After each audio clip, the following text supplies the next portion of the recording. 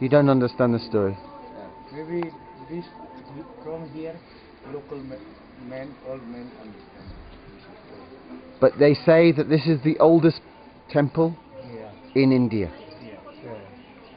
From how long ago? Maybe for five thousand. Maybe even 5,000 years.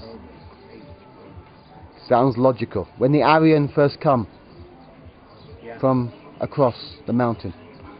Yes? You know very well, huh?